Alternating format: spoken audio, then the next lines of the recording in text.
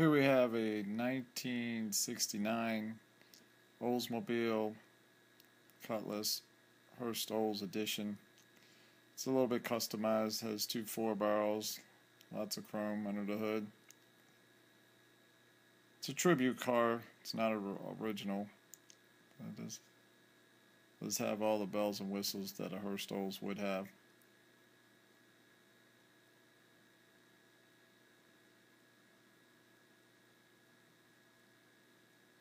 Has a 455 Oldsmobile engine, HO emblems on the side, Hurst emblems.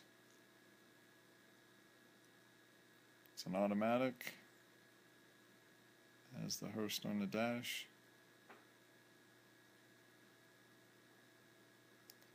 Hurst rear spoiler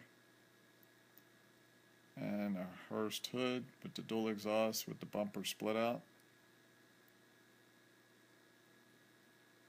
It's a really nice car.